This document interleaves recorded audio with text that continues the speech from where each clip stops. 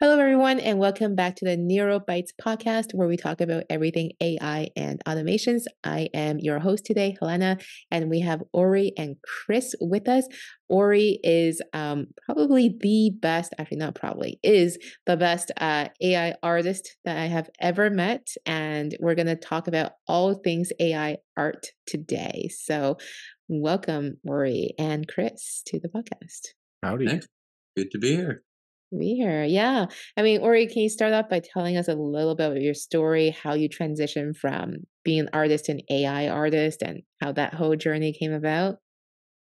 So apparently, I was an artist like my whole life. I just didn't realize it until um, I stopped making art for ten years, and then gave away. Uh, before the ten years was up, gave away my stuff. Went on a road trip for six years, based on whose couch I'm crashing on next, and. Uh, when I was in Maui, my buddy took me to some galleries, and all of a sudden, I realized, ouch, I haven't been doing the thing that was always my thing. You don't really hear parents telling their kids, oh, you know, you should grow up and be an artist. You'll make lots of money and have job security. You know, they're like, oh, why don't you go work at McDonald's? You'll work. Oh wait, that's my parents who say that. But um, so uh, but yeah, you know, it, it just hit me that for ten years I haven't done my thing, and so I I started doing uh, daily work of art, which I did for over forty three hundred days in a row, and uh, I got pretty good at it, and I also it, it helped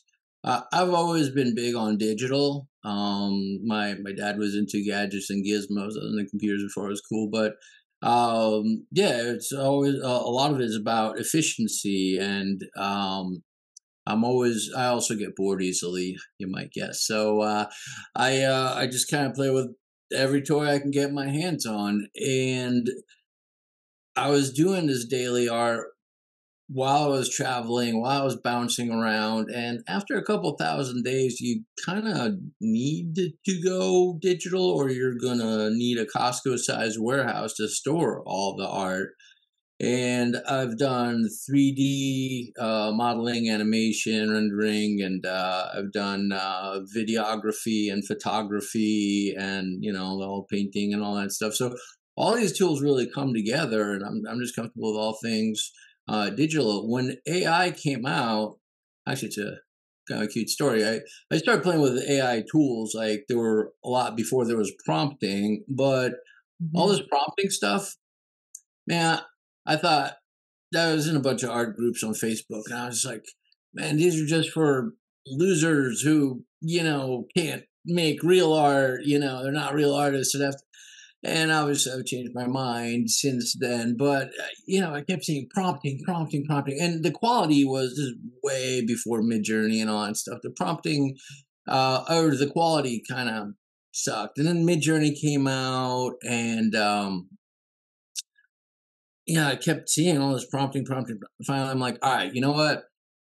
Let's just get this out of the way, and then I can say I did it, and everyone can leave me alone about prompting. Yeah.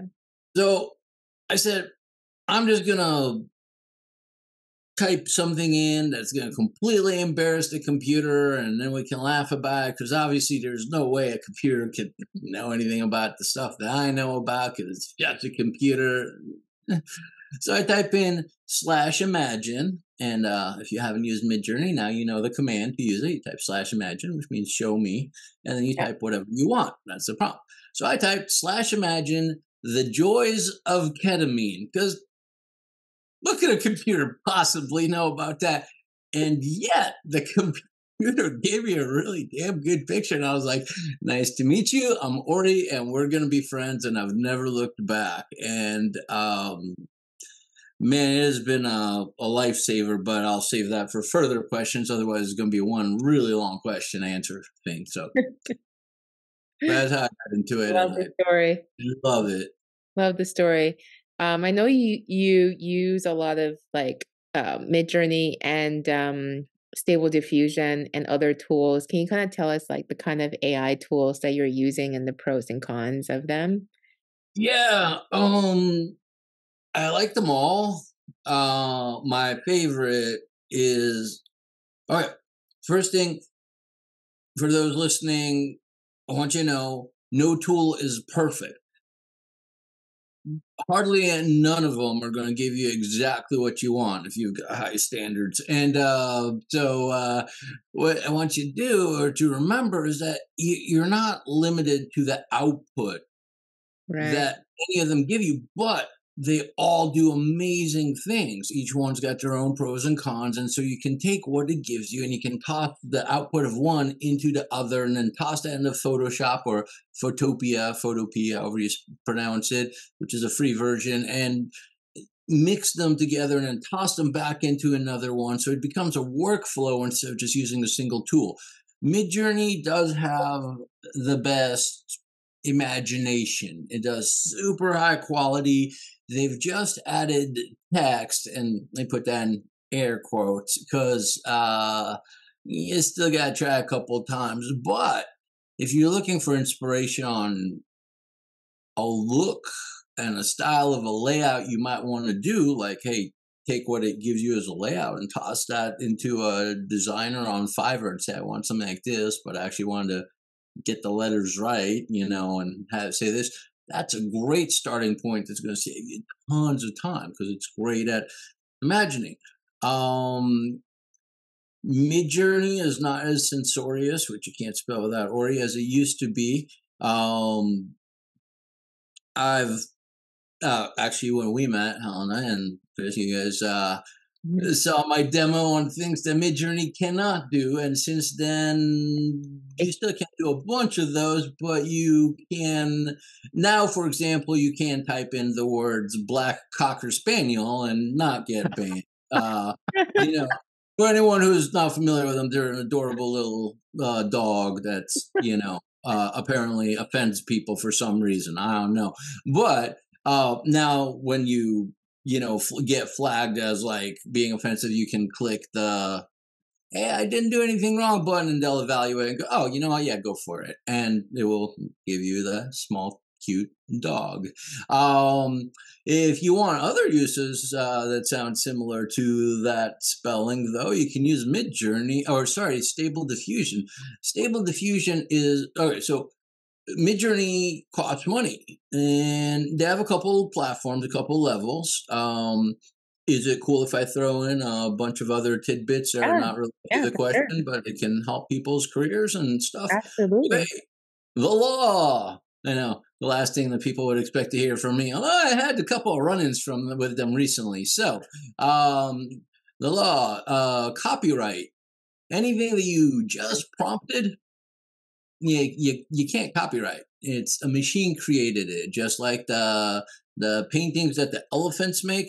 No, it's got to be human done. Uh, so, um, I recommend that if you're using Midjourney, you pay the fancy schmancy account. Uh, I think it's sixty dollars a month, which is not expensive and it's not cheap. I mean, it, considering how much work it saves you, you know, if you're going to hire one designer on Fiverr or you know, and you extracting the or subtract the frustration and all the mistakes and all the back and forth.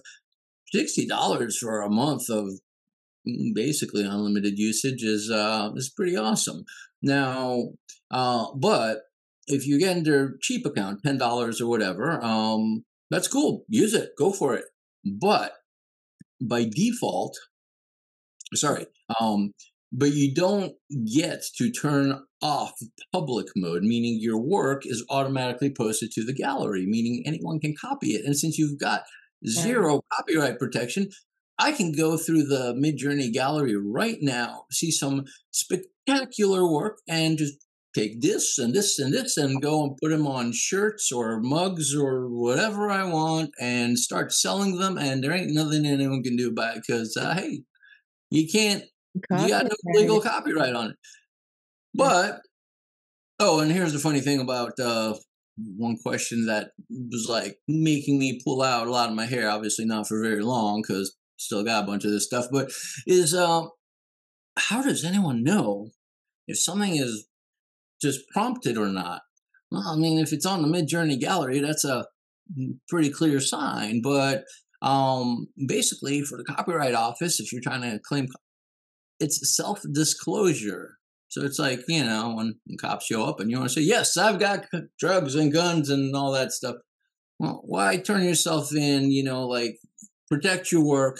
Even a prompt is intellectual property. And it's not as easy as people think, like, oh, just show me this and that. It is because it will do that. But if you want something quality, every single one of the images behind me leveraged AI and prompting, but it was a whole bunch of prompting and a whole bunch of manual labor. And, um, you know, I, I I don't give away the prompt. There's a lot of arguments about that. But anyway, so if you want your if you're using your work commercially and you don't want people to rip it off uh, indiscriminately, then yes, get the fancy version if you're using Midjourney, and um, make sure that you go into slash settings now you've learned your second Midjourney command and um, push enter and uh, turn off public mode, which is on by default. Hmm. Anyways, uh, Stable Diffusion is my favorite uh, because it is. Uh, wait, yeah, there's there's uh there's a couple flavors of it but but generally so there, there's a lot of platforms online like leonardo.ai and um i don't know uh, playground or open ai open, DALL-E.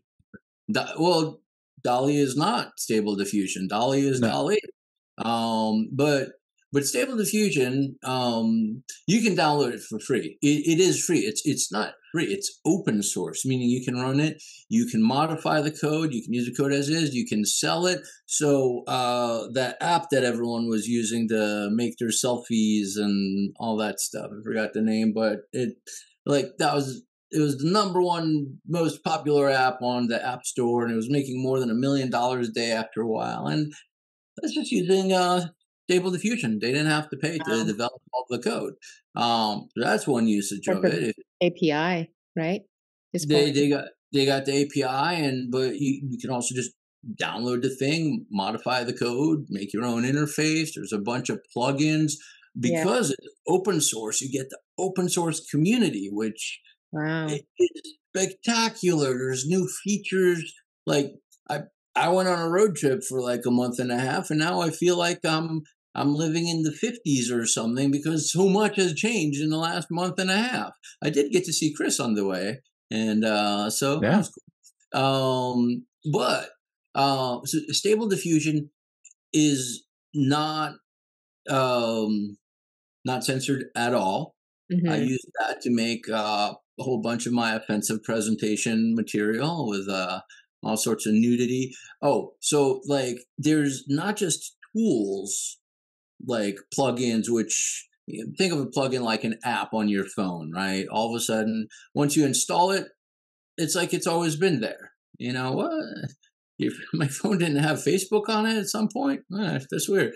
Um, and actually, I need to make sure it doesn't have it on there again. I spent a lot of time on there. Um, but there's also something called models. So um, you know, if you want to make a particular celebrity, uh, like a particular look, a particular anything, you can make a model, and people are just giving those out for free. There's a there's a platform that I'm on all the time, Civitai, C I V I T A I. Um, it's got an adult feature, and this is like one of the few sites on the internet that I highly recommend you actually turn on the blur adult content if you're at work or anything, because there is some interesting stuff on there. People are very creative and you, can upload whatever you want. So, but you can also download those things for free and use them and make your own thing. I mean, you know, if you want to make weird tentacle porn, go for it. Uh, now you can actually also animate with stable diffusion. There's a whole bunch of stuff about that. Uh, AI is now getting the video. Um, and another one that, you know, it's really funny because it started this whole prompting thing is DALL-E. Is uh, DALL-E, uh, which is by OpenAI, the the people who make ChatGPT, um, the first version was just research only. The second version, DALL-E 2, there's a huge waiting list. I was on the waiting list before Midjourney came out, and Midjourney came out. Then I finally got accepted onto the DALL-E thing, and I was like, yeah, I don't even like this thing. Like they made it look so damn good and got everyone excited. But one of the things they did that that started this whole thing is they're the ones who gave the the language part of it to everyone else. Like, oh, yeah, well, just make this you know available, and then everyone figured out other ways to use that with GANs. Um, and uh, you had all these cool like disco diffusion and all these things and eventually midjourney and all this stuff it all started kind of with um with DALL-E but DALL-E is way more censorious than anything um especially their new version is pretty awesome. You can access it for free at uh, bing.com slash create. Microsoft uh, you know gave uh, openai like 40 billion plus and so they get a to use all the fancy schmancy tools. Uh, so that's how you can use it for free. A certain number of credits for free every day. Uh, a bunch of places will let you use stable diffusion for free by the way. You get like 500 credits a day or whatever uh, tensor.art is a really cool one that that's uh, recent, and um, I like their interface. I recommend that to my students. It's uh, it's not as powerful as like using the full blown things, but I'll get onto that later. But DALL-E, um, you can also use it for free. Like the really powerful version that um, is in uh, inside of ChatGPT four. And if you're not a paying subscriber to ChatGPT. I'm not sure what you're doing on this podcast. You really should. It's like the greatest twenty dollars you can spend. I'll happily sacrifice any amount of Starbucks for the amount of power and time and experience that that application gives me. But the cool thing about working with DALL-E, it was the first one to have text. Again, not perfect, but you know, but they will get it on occasion, and if nothing else, it's a good starting point. B, pretty spectacular image quality. I, I think uh, Midjourney's guy beats version six just came out, and it's pretty spectacular. And there's a bunch of models that I really love inside of Stable Diffusion that I'm much happier with than DALL-E. But with with DALL-E, the cool thing is that you converse with it. So uh, you don't have to use a slash imagine. There's no weird formatting. There's nothing to dial in or anything. You're just like, hey, um, show me a um, painting of a cat on roller skates on a sunny day. And I'll go, okay, cool. And you're like, you know what? Uh, and you can actually type the you know what if you want. It's not it's not the command, you, but if you type it, like I converse with this thing like a friend, and you know, like you know what, right? That cat should have a sombrero. I'm like, okay, yeah, that sombrero should be pink. Now, here's the thing: it shuffles things around, so you don't really have as much consistency as you do with the other ones, and you can't name uh, any celebrities. You can't name any living artists. So, like, I'm a huge fan of Boris Vallejo. Uh, I've wanted to make art that, you know, he's, he's been an inspiration of mine since like seventh grade, uh, way before I even realized I was an artist. And uh, so if you type in, uh, yeah, make that cat in a sombrero in the style of Boris Vallejo, and it's going to say, oh, whoa, whoa, whoa, whoa, whoa, whoa, whoa. No, no, no, can't do that. But would you like me to do it in the style of a traditional fantasy art? Say, sure. And, you know, it might get you something kind of close. And you might be like, oh, uh, example I showed my class is um, uh, showing Alice Cooper holding up a cup of coffee that says delicious. Like, whoa, whoa, whoa, dude, you just named a living person. Were you trying to get me sued? It might not say that in those words, but it says I cannot the. Would you? But it knows who Alice Cooper is, so it's going to be like, would you like me to do a a traditional rocker. And you get like the so it looks like you know um, Alice Cooper's you know uh, stunt double or you know cousin or something. It um, it won't do a black cocker spaniel. I just tried that. Yeah, it won't do it. it it aired out. I don't know if that's why. Uh, that poor species. Uh, it was know. cocker spaniel on all one word. Oh no, yeah, I used all one word, but when it came back, oh. it said oh. it ran into issues doing cocker spaniel with two words. So I don't know. I'm gonna try it again. But but yeah, um, so th- they're all really good. Look, here here's how I'll use a lot of stuff. Um, regardless of which platform and all that, because I all right, look, here, wh- where I really like Chat GPT, it it doesn't matter if DALL-E sucks. I mean, it's a great tool. They're like, wait, we just spent billions of dollars. What are you talking about? It kind of sucks. If you're a pro, like, eh. But what's amazing about it, you can use it as a starting point and you can converse about it. You'd be like, hey, uh, I'm going to these people's wedding and I want to bring them a really cool painting. And here's the things, here's who he is, and here's who she is, and here's what they like, and here's how they met, and blah, blah, blah. What image would be really cool? And then you can even say, give me the prompt for that. And, and then you can take that and put that in a Midjourney and, and stable diffusion, all that stuff. Ooh, one last thing that's super important stable diffusion takes the cake. Um, so all of these people behind me are all very specific people. Um, and you can't do that in any of the platforms except for uh, stable diffusion because uh, unless you're doing a celebrity and then you might not have their most recent look because they scrape the internet and yeah sure it will probably know who dwayne the rock johnson is or who you know barack obama is or whatever but um hey DALL-E is going to be like nope not touching that and uh but they're famous. Yeah, there's tons of photos. But if I say, uh, you know, slash imagine Helena Liu uh, riding a giant caterpillar through the sky, it,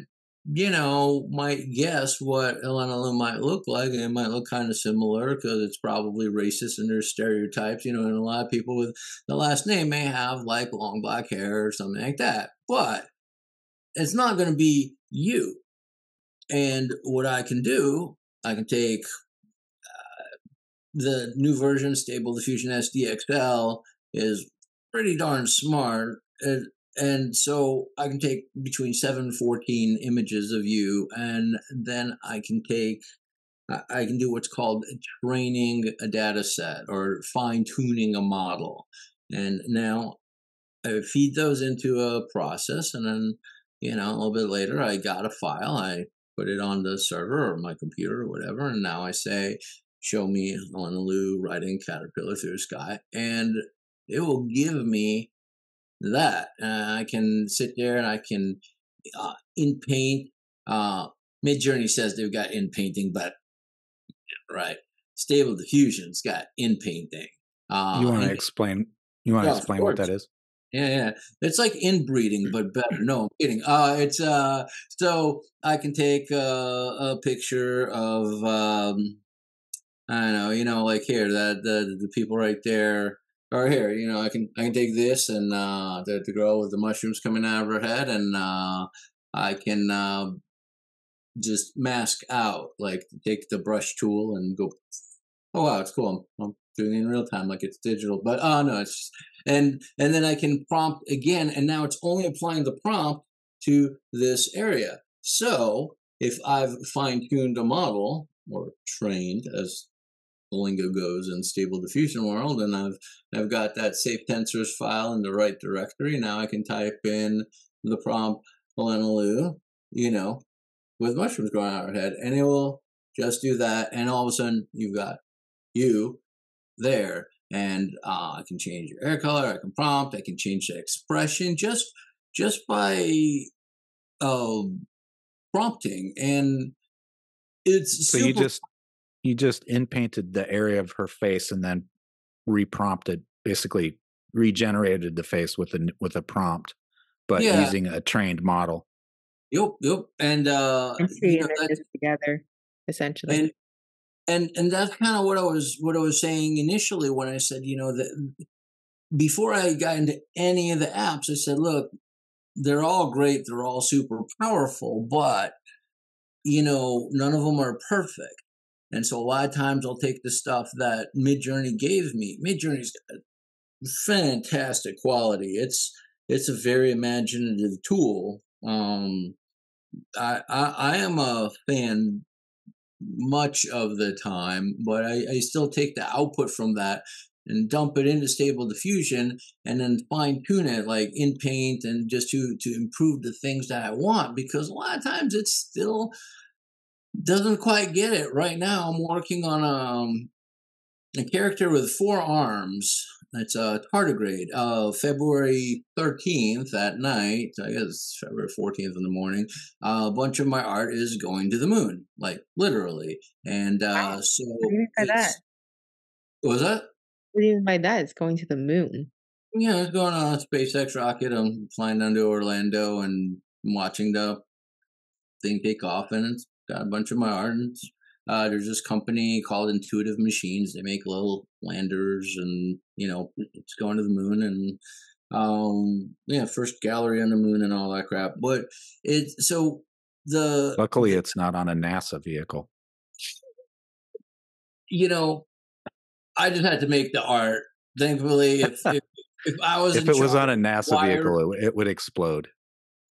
It might explode. There's still a chance it's going to explode. Uh, but regardless of whether the vehicle explodes or not, the substrate that we're etching the art onto is going to last. This guy that invented it, his name is Nova Spivack, and since you guys are smart people that are very business minded and marketing and stuff, you may have heard of Peter Drucker, the godfather of management and such. So this is his grandson, and he made this disc that's made out of quartz and nickel. So it's basically indestructible. So all the you know meteorites and you know moon's got no atmosphere, so all the all the crap that's gonna you know hit it, it's not gonna destroy it. So uh he actually he's got one of these discs in uh you know that Tesla that Elon's got Oh yeah, in the glove compartment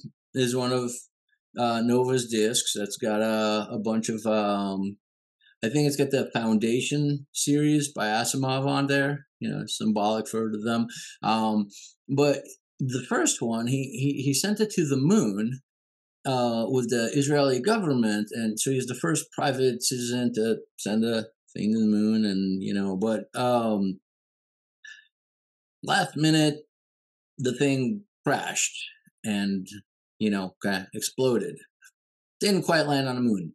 However the disk did land and it's still there. It survived the explosion. Now this brings us back full circle to the you know character with multiple arms that i'm working on uh and uh have you guys heard of tardigrades uh they're known as water bears? No, Uh, so- those are the are those the ancient the ancient things No, No. I'm sure they're ancient. They've been around forever, but they're they're like all over- water fleas. No, no, they're they're much cooler than that. So, uh, these are like these tiny eight-legged critters. They're actually tiny, like microscopic. They they live in uh, water bodies of water, uh, usually rivers, lakes, that kind of thing. They eat moss. They're pretty harmless and uh, all over the planet. And um, uh, people call them water bears because they kind of look like eight-legged, adorable, microscopic bears. But here's the thing: you know how uh, space is uh, harshest environment we kind of know. You know, sub freezing temperatures, no oxygen, cosmic radiation that gives you cancer and death instantly. Um, well, they took NASA the the ones that you said crash things, and uh, they um they they took these tardigrades up into space, and, you know, and didn't cost much in gas because they're microscopic, so they're very light, and um, kind of put them in space, and these things didn't die. And they're cool with like sub freezing, non oxygen, cosmic radiation. They're like they hibernated. They're like, wake me up when we're back on Earth. And they get back to Earth, and they're like, that was that was nice. And that's just, you know, trying to study these things like, how do you do that? Well, Nova pissed off a bunch of people, lost a lot of friends. Because when, when that aforementioned disc I was telling you about that did survive the lander crash, crash on the moon, it turned out he put a whole bunch of these microscopic critters on it, like literally on the surface. And now, you know, they these supposedly are just hibernating, or maybe they died by now, old age, I don't know. But technically, he put an invasive species on the moon, so there kind of is life on in space, you know. However, and they're so, no longer microscopic. Uh, well, that's where the art is. Um, we have the Tardiges. Uh, so we're creating a um, a series which hopefully will be Smurfs level popular. Um, you know about these starting with a graphic novel and animated and all this other stuff. But it's what what happens when you know humans put a bunch of these indestructible things on the moon and then you know over billions of years and mankind moves to the moon and you know they've we kill ourselves with nuclear war or whatever but we leave our technology and nuclear waste and whatever and then these things evolve and billions of years later they got their own civilization and they love music and you know blah. so i'm trying to make these things and um man none of these platforms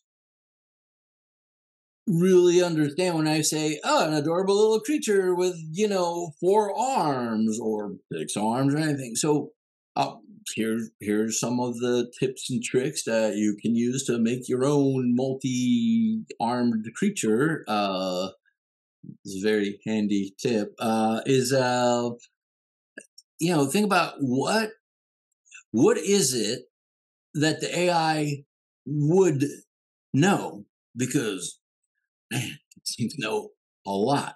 A I mean, spider. Really, a what? Spider. Yeah, you could. Yeah, that's you could. You could probably get that. It. It. You're still can't spider. The the thing I was using was because uh, because I wanted it to be humanoid, you know, but cartoony and all that stuff, but multiple arms. Spiders don't have digits. They got these, you know, spear like appendages um, I think he did a really good job with uh, with that in uh, the 1990s version of Lost in Space. Very creepy spider. That's why they're always creepy. We're going for adorable. So um, I used Shiva the Destroyer. I was going after the Indian gods, the the Hindu oh, gods. Oh, yeah multiple arms. And I was like, oh, show me an adorable version of, you know, Shiva Destroyer as a baby, but really fat. And, you know, that kind of, and I'm like, all right, I, I got some versions with stable diffusion and with Midjourney and actually with DALL-E now,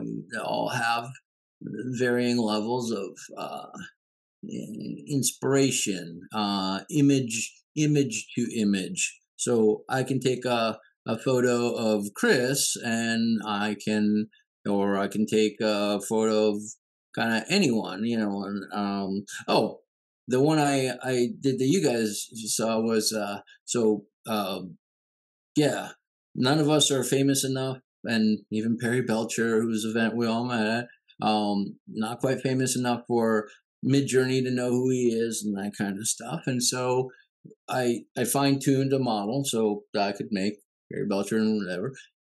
And then I, I took a, an image of Jean Claude Van Damme, who's famous for his uh, splits and his kicks. And I said, All right, here's this, and show me Perry Belcher doing this. And it kind of emulated the image I saw.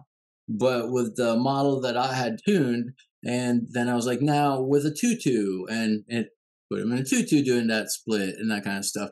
So all, all these all these tools are they're all still very young. You know we we have a com- we have this conversation this time next year. I literally cannot predict what's gonna what we're gonna see one year from now. Um you know people Well, were you're, you're having a hard time keeping up with your with your course, right?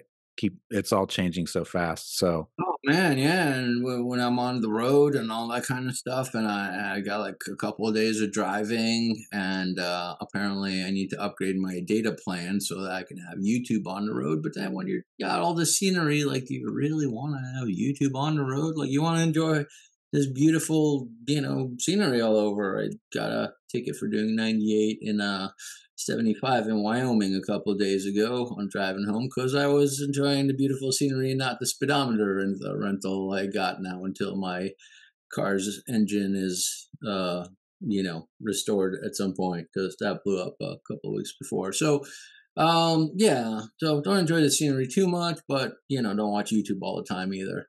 Yeah, but yeah, this stuff evolves so fast. It, it's I'm a huge fan of of uh, Peter Diamandis, um, the guy who started SpaceX and um, a bunch of other things. And you know, so he's talking about these are all exponential technologies. The your all this AI works, and it works so well because now we have GPUs. It's not a bunch of CPUs like your computer runs on a CPU, computer processing unit. GPUs are what NVIDIA makes, and there's other companies, but NVIDIA, it's like what the wealthiest company on the planet right now, uh, or if not, then maybe right behind Apple. It's one of the fastest accelerating stocks, um, but because every the whole world's AI is running, in fact, uh, NVIDIA chips are one of the reasons that you know China's not like going after and just taking Taiwan because you know Taiwan's got like so much of this chip processing uh manufacturing there. And so th- these gpus are faster. They, they they got started for for video gamings and stuff uh you know and for for doing 3d for movies and stuff. So if you have an nvidia card in your computer like uh you know the the current series is the rtx 4090 or you know whichever series you've got. What it does is it's a special processor so your computer's running the operating system the software and all that stuff and then you got these these chips that are built on neural nets to they run the ai they handle the 3d so i was doing 3d way before there was ai right? The computer you had to have a really fast processor and then you got really good graphics card and all of a sudden you can do a lot more a lot faster. So that, that's what uh like amazon makes a killing off of their their server farms. But it's not just for hosting stuff. It's also they have like gpu farms. So you have what's called the render farms. So hollywood used to have to buy like millions of dollars, millions upon millions of dollars of, of computers that, that took a lot of electricity and a lot of space and all that stuff. Now you just be working off. I mean, you probably want decent computers, but you know, you you send the you finish the file. You're like, here's my animation. You're working on like low resolution, low quality, and then you send it up into the cloud, and you're like, here, just use as many computers as it takes. I want this feature film thing rendered in IMAX resolution and uh, you know it's 2000 frames and go. And then you keep working on whatever on your computer. Otherwise it would take up all of the processing power of your computer and so on and so forth. It's it's insane. So gpus and now they're getting even faster things than gpus and now microsoft intel hp all the companies are like they haven't quite cracked the code on how to make something as good as NVIDIA's. Uh, but I was talking about that these are exponential technologies. NVIDIA has all the amazing chips, and they're using those with their own AI. So the chips run the AI, and then they use the AI to engineer better chips and then better manufacturing. And manufacturing is only available and possible because these chips and uh, it's just all these technologies are powering each other. And so they're all accelerating like, and so by next year, I, we're not far from going, hey, uh, you know, it's going to be checking your phone and and detecting from your Fitbit what mood you're in, and and then you know it's going to scour or scrape all your social media, so it's going to know your favorite actors and actresses and genres, and going to go, oh, here, let me make you a, an action movie, you know, starring Scarlett Johansson and da da da da. You're like, oh yeah, perfect. And it's just gonna make it on the fly oh, probably five years from that. But you know, we're this stuff is truly awe inspiring. Yeah. Hey, you were talking about doing the graphic novel stuff, and I know that like you have to have a way to keep your cons- your characters consistent. Um, you want to talk about how you would do that in Stable Diffusion um, if if someone's interested in creating a graphic novel, and yeah. also maybe talk about a little bit about um, running stable diffusion locally versus in the cloud and how you how you do both well i mean uh, you go to github and uh, it's a git hub um, and uh, just download uh, i recommend automatic 1111 so automatic four ones that's uh, an open source uh, interface for stable diffusion. Uh, it's gotten a lot easier to install and that's running it locally and that's great if you've got a decent gpu personally um, I, I, pay for cloud usage a, a really because i'm doing a lot of things like this this robot here like uh, there's this jeweler uh, he's a celebrity jeweler and he does a lot of philanthropy and he's created the the championship rings for the Drew League, which is uh, kind of like uh, not in the best of areas, and a lot of people who are into NBA grew up there uh, have come out of that.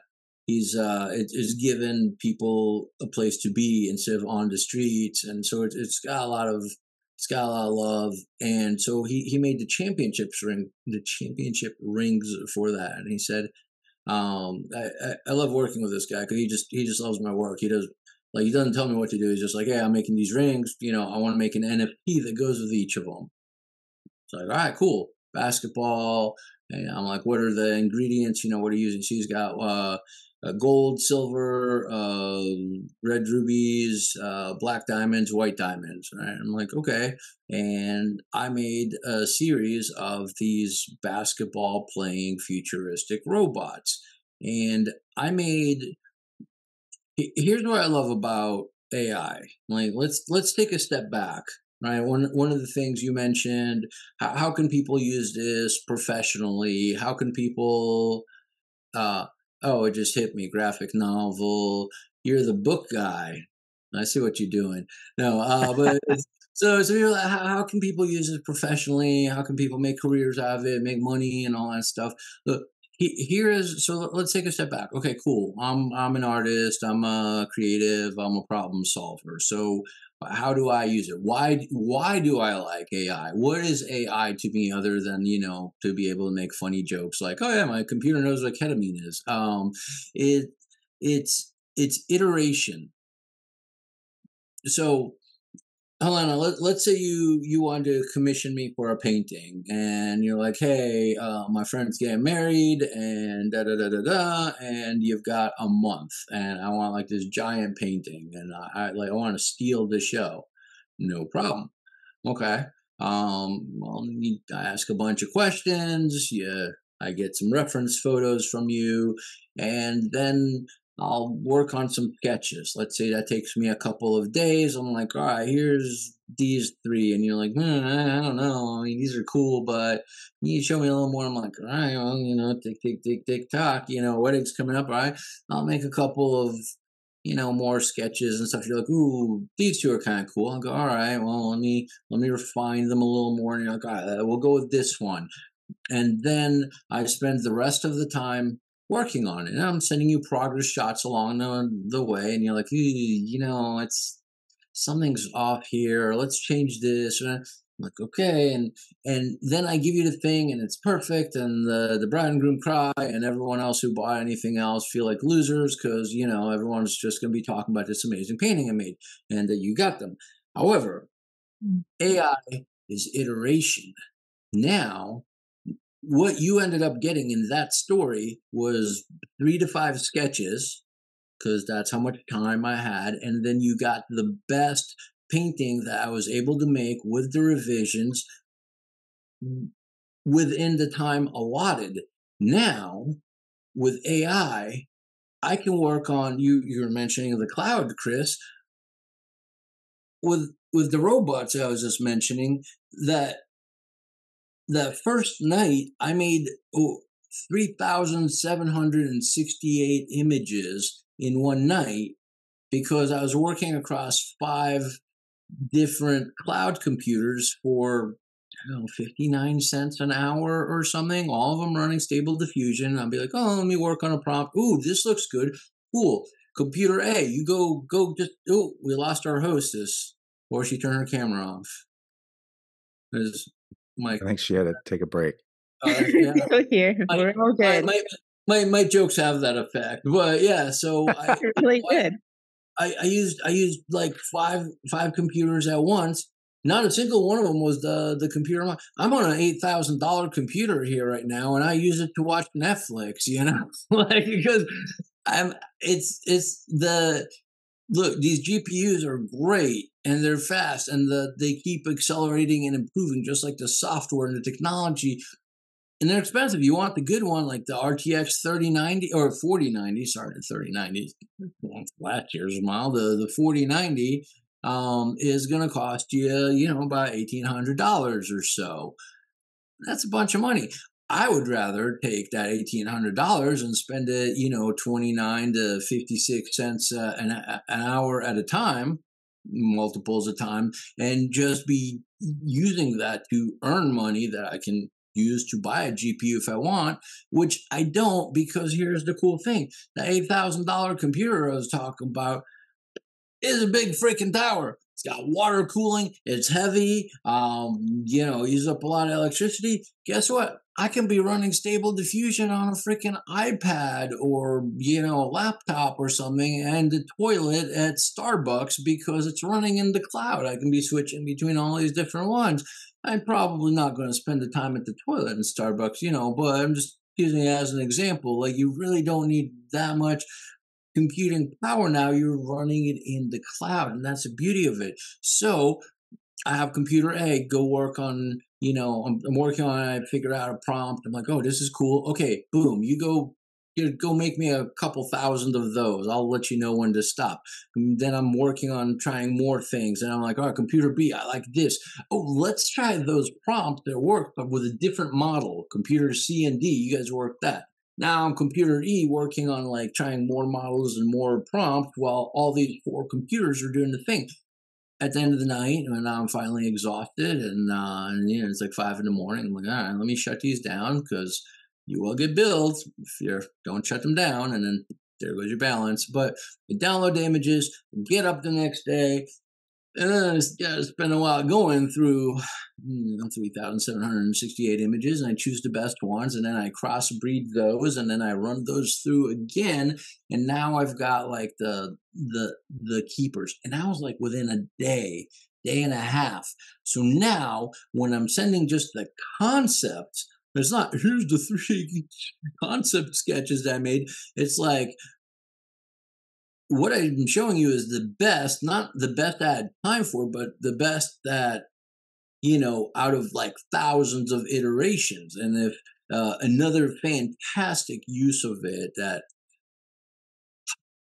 absolute life changer, game changer for me is the fact that I can take you know the the photos of of people and i i can fine tune the model and now i can make the photo references. So that dude and that dude, that's uh, both my my older brother. Um, we kind of had a falling out, and I was kind of working on it. And I was like, oh, I know. So I reached out to his husband and I said, hey, you know, what's something that I didn't even mention that was art. I was just asking, like, what's something that he's is is never done because you know he's a pretty accomplished fella and I said you know like maybe maybe buying something a particular car or a house and like I don't know going somewhere although you guys have like freaking been everywhere. His husband works at a adventure travel company so you know there's that. And I said is it you know I don't know getting uh, accomplishing something like oh Chris you like this getting a pilot's license or something? And um you know he said oh, maybe, you know, getting to chat with like, you know, with his uh, sci-fi writing heroes. We grew up on sci-fi, you know. I said, great. You happen to have a sequentially numbered list of his favorite ones? He's like, oh, you know, talk to your little brother. They geek out about all the time. And I reach out to my little brother and he tells me it's uh, uh what uh Robert Jordan, uh, who wrote the Wheel of Time series, and Isaac Asimov and David Eddings, and um, so he said Robert Jordan's the the the top guy though, like loves the Wheel of Time series, and um, there's not a lot of pictures of this guy on the freaking internet. Like I spent a lot of time looking, and all the pictures are low quality and they suck. So using a couple of images and a little bit of dedication and grit, I finally trained the model. I could get a lot of web traffic if I put there, you know, this dude's got like millions of fans. Like Amazon just did a really high quality version. Like his fans are like the you know, Lord of the Ring fans. So like if you screw up that show and it's not like right according to the thing, they'll, you know, burn down your production company. So he's got a lot of hands. And so I was able to make pictures of my brother having there's a lot of in painting involved in both of these, you know, but having lunch with his sci-fi writing heroes. It turns out that his sci-fi writing heroes are dead, by the way. So it's not like I could actually, you know, he can't, you know, like go and have lunch with them.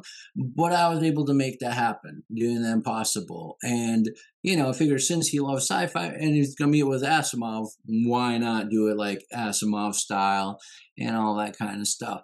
And you can do that because you can train the models, but it, my the bane of my existence as an artist is people giving me crappy reference material and not enough reference material because we know our faces oh so well because we look at them in the mirror all the time and we know the faces of our loved ones oh so well because we see them so much so someone may not be able to tell you why that painting doesn't look like their husband or wife or themselves they're like I don't know, man.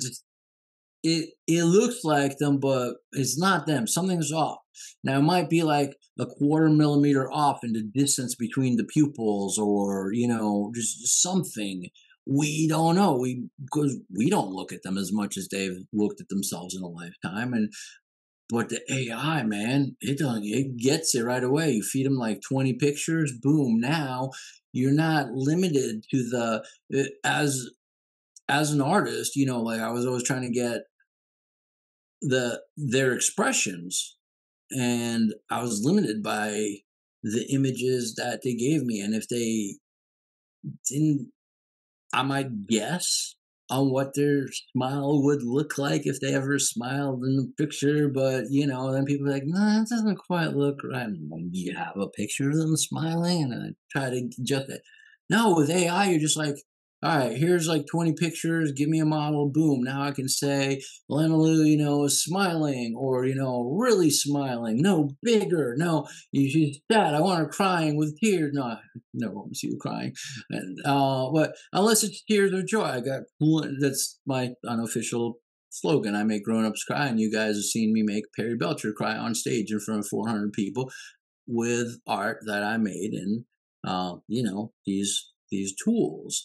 And so you can create uh, solid reference materials and and now I'm not even like I don't have to sit there and trace and hope that I get their expressions right. And now people keep saying to me, "Oh my god, look just like me! Oh my god, you got the expression perfect!" And I'm like, "Oh, thanks."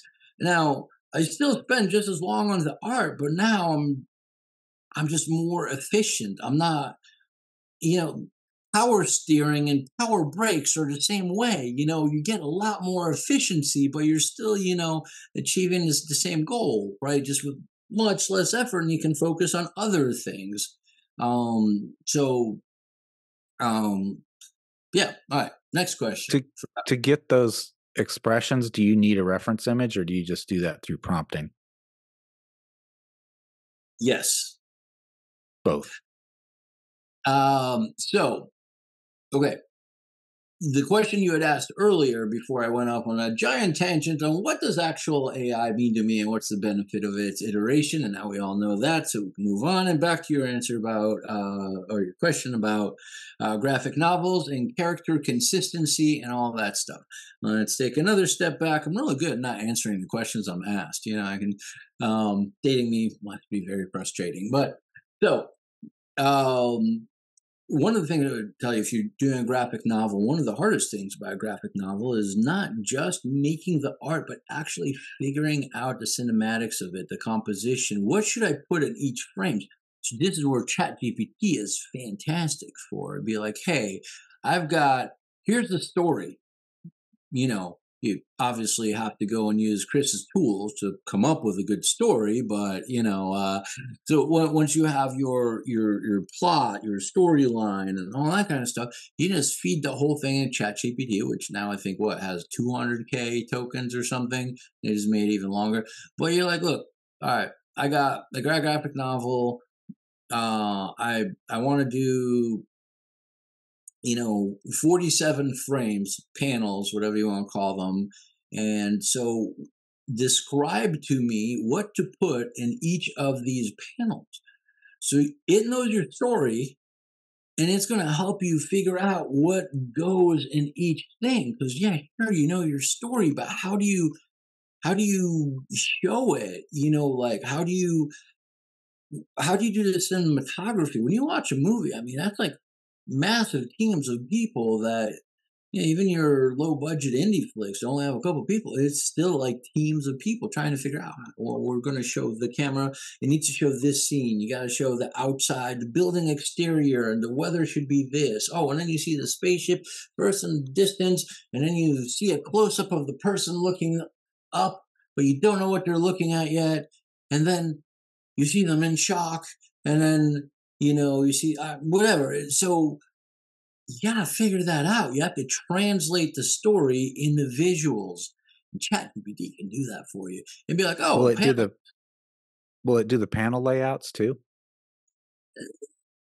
I wouldn't rely on it for that, but you can try by next time and you know this year I, I, it's, probably to tell you uh, I can't show you that city. I can't show you that building. I can't show you that outfit, brand name, boom. You know, like it's all it's all trademarks and copyright. I'm sorry, but but I can tell you what you should have in each thing, which is savings of thousands of hours, yeah, depending on the length of the thing, but but but it's, it's a savings of a lot of time and, and more than time. It's it's it's it's the brain the brain power. And again, it's ChatGPT. So you're you're you're working with it conversationally. You're like, oh man, I, I really like that. But I don't think in panel four it would actually show that. I, I, I think we should show, you know, a silhouette first so that people are still in surprise. And I'm like, oh, you're right. Let's da da da da. And it will spit out all the frames again. And so you can sit there and try and prompt those things um, with so yes if you're Midjourney just released a new tool a uh, couple of versions ago. I, I forgot the name. I think it might be fine tuning or something, but you can actually give it a prompt, even with uh, some image references. I want and and you're defining a style, and it's gonna show you. It's gonna you remember the Pepsi taste test, you know, Coke, Pepsi, ah, you know, you're like, oh, A or B, and you're like, A and then B, what about this? A, B, boom. You know, and you just keep going through that and you define either 12, 16, or, you know, how many ever um, you choose. To, and now you get to give a name, and now there's a command with a really weird number that you're calling that particular style. So now you can actually define your very own style. It's pretty cool and powerful. Um, I really like stable diffusion. I'm you know, biased, but I, I use all of them, but I find stable diffusion to be the most consistent because you can, if you go on Civitai, there's, you know, where, where, uh, what's it called? Uh, DALL-E is to be like, oh, sorry, can't, can't show you that. Uh, go on Civitai, someone already made a Frank Frazetta you know, or a Ken Kelly. These are like some amazing legends in the in the illustration and the, the fantasy art genre. And there's a bunch of them. Um, the Last of Us is, is a graphic novel that you know got made into the show. Like so, there's there's there's all these different um uh, styles that people have already made. Now, these a lot of these are done in LoRA's, which are small models. So it's um, you're using an existing model that does this beautiful, you know, you like how it outputs everything, but now you're stacking this little command on it, which now says, now giving it a consistent style. Now, additionally, you can also um, use uh, uh, seed number. Now, Midjourney, DALL-E, and Stable Diffusion all have seed numbers. Uh, the way any of these make their images, it starts with you, you ever, uh, you know, we don't we don't have those old glass TVs where you know if you don't have a signal, you see like you know it's called snow noise, you know, just little dots, gray and white dots or whatever. So I don't think Helena knows what you're talking about. Mm, it's, it's, back in my day, we had to walk uphill both ways through snow just to turn the dial in order to change the channel on the TV. No, uh, so on all these, so basically, you got these little dot patterns that just starts off and and the way you ever look at a cloud and go, hey, that one kind of looks like a cloud, or oh, that one looks like a dragon, or and so that's kind of what it does. You're telling it the prompt. It's starting with a completely random set of little little white dots that you you can't see, but it keeps refining in every there. So there's there's two. The, the way that these uh, these started was with uh, I forgot what uh, something. It was, two networks. It was basically this. This is what I was talking about, where where DALL-E released it. It was you got a language model, like you know, it's looking at the words that you write, and that becomes like your pilot, and the the ship or plane and the vehicle is the image generator. So the image generator starts generating based on what the language thing does and it evaluates well does this actually look like the thing you asked for and it then keeps modifying it and dialing in until it gets ta-da here's your thing. And it still butchers it half the time but it's not the point. You, you still get this beautiful thing. And so the seed number is the exact dot pattern that you started with.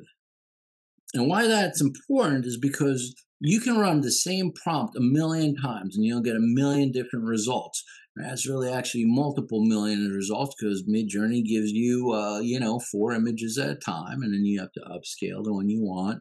Um, that's another reason I, I like stable diffusion the best. I can just go here, make me 400 images, and I'll keep working on this thing, or say make more, you know. But um, and um, it, it's just easier like you have your seed number right there. And so you can have it be a random seed number meaning like give me a different one every single time or you can give it the same seed number. And that means that if I create an image that I am just absolutely in love with and I want to just make some modifications to it, let's say I got uh, you know, Captain America, and I just I love how it got the the leather and rubber and whatever the heck his you know suit is made out of, and and now I want to put you know you as Captain America. Oh, totally. Actually, you got you got the hair, and you you'd be able to pull that off, Chris.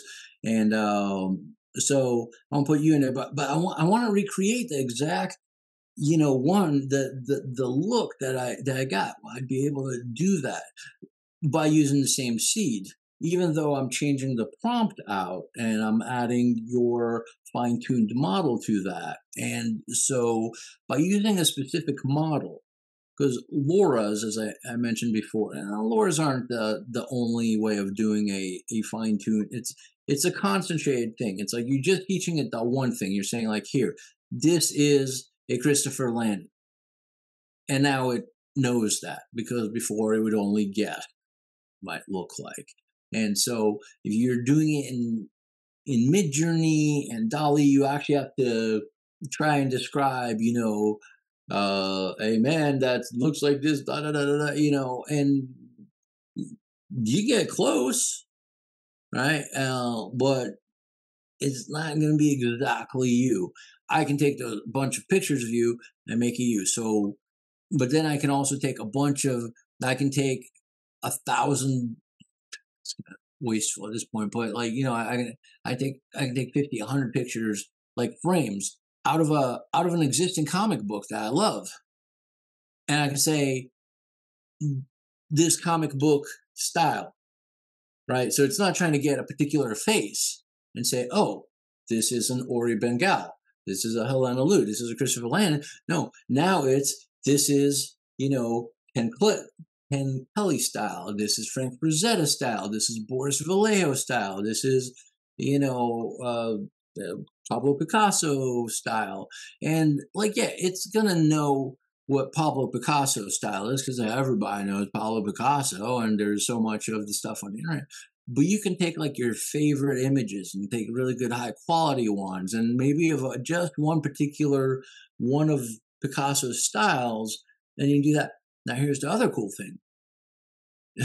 I I mentioned um, Pablo Picasso. I mentioned Ken Kelly. I mentioned uh, I mentioned a bunch of artists, but I can actually mix them. So I can take uh, Klimt. He's uh, he's the guy Klimt He's the guy who did all the little gold droplets and stuff and everything. And I can take Norman Rockwell, who did all the like, you know, we've we've all seen his illustrations, whether you know him or not. They're all like very Americana, you know, the kids waiting at the doctor's office, you know, like the uh, old ladies walking in their swimsuit with the to, to get the mail. Like he's got all this like just a fantastic illustrator. He did a ton of stuff for like the New Yorker and all that stuff. Look him up, right? But so you can pick all your favorite artists, and there's a bunch of artists databases now that you can look up. You know, artists in Midjourney, artists. Good luck. It's like thousands of people in all of them, unless of course you're on DALL-E. Then it's like I can't do that. Uh, but uh, you know, it will it will try to. You, you can ask DALL-E if I wanted a style that's similar to, you know, you just really got to walk on eggshells. But your thing was about consistency in graphic novels. So if there's, you know, let's say I I liked uh, who's uh who's who's an a graphic novel illustrator that uh, uh Talbot, uh the, the guys who did the Teenage Mutant Ninja Turtles, right? Uh Eastman and Talbot, I think. Uh, you know, hopefully uh, I don't get a bunch of uh, angry listeners saying, "Oh, you got it wrong," but I knew this like in seventh grade, which a while ago. And uh, so, so let's say Eastman Talbot, you know, I can take their style. Uh, I can take, you know, Ken Kelly and Klimt because I want well, gold droplets. So I say, show me Christopher Landon as Captain America or an illustration of the you know that's Captain America. Uh, I say swinging on a vine, but that's Tarzan. You know, like I'm the one. I I pull Tarzan off. I got that. I, that's on my business card and everything. Uh, but you know, um, and show me uh, in the style of you know da da da da da da da and and so in the style of Frank Frazetta and Norman Rockwell and and that. And if you keep that formula somewhere, so you can make a, you can actually make a, a style, which basically you're embedding a bunch of these prompts. So it's a nested command. You're saying like, look, I want eh, like a macro, right? You uh, every time I type this, it means these things, right? So it's saving you a bunch of tokens, it's saving you time. And so you can do that. So now you've got the consistent styles, both you've got the character defined, you can also define the environments, you can also define your own style. As as an artist, I can scan a picture of, you know, like 50 of my own artworks and say, make Ori Bengal style. Right. And I now have it create artworks in my style. And uh, then Stable Diffusion also has this incredible stuff called ControlNet, which again I'll talk about earlier because it's open source. You got all these uh, developers that make the stuff, and, and I hope this doesn't sound like it's confounding. Like, oh my god, where do I start? Or he's mentioning all these things. So far, I've said, look, just you got a command. Go to these places that have all these free styles and try a couple of them and you can fine tune a model by throwing 20 people 20 pictures so now i got you i got the styles i like i had ChatGPT write you know help me with my plot and uh, help me figure out what goes in each thing now ControlNet control net is a confusing one uh, because it's got its own models and but they do different things. So ControlNet really lets you. I, I was using it last night, um, and um, I got I got a painting of uh, my collector is is sitting there. Uh, wanted very specific clothing and he's looking and pointing to the right and his dog is standing next to him and they're watching a nuclear explosion and there's two dollar bills all over and his favorite molecules and all stuff and so I didn't quite get the face right, but I, I had the expression already in the composition. So I took that, I, I took like a screen grab of that. I put that in as um, you know, in a control net And I said, keep trying. And he made like a hundred versions of his face. You know, I tried different prompts, different materials, different this and that. But each one, he's facing the right way, his sunglasses are in the right place, because ControlNet is it's not just an image to image. It's you can give it you have different control nets for different things. So when I showed Perry doing the Van Damme splits, I used an open pose control net. So that means you can, you know, go onto uh, Pinterest. That's a fantastic reference library. Just type in what you're looking for, right? With these robots, there you go, perfect. I used uh, I used open pose ControlNet. I, I went on Pinterest. I typed in slam dunk right? Or NBA slam dunk, uh, slam dunk action shot, slam dunk action photography. And I'm like, okay, this, this, this, this, this. And I'm like, ooh, I like this. I drop that in with one model that I seems to be doing good futuristic robots. I'm like, make the robot slam dunking like this guy, basically, and it and it does that, right? So there's a you're not limited it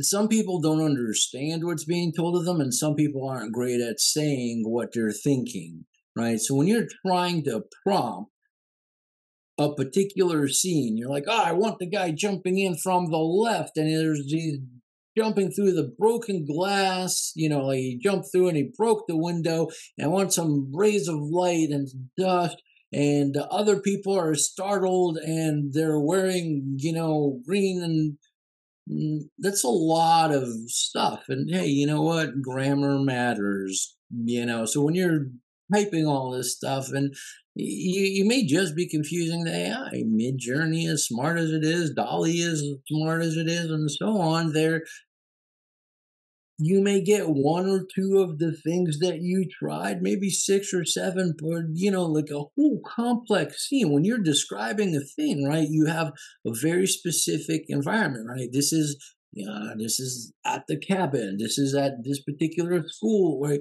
What you can do, again, all depends on how fancy you want to get. You you can just prompt the heck out of everything and boom, be done with it, and you might succeed at what you want.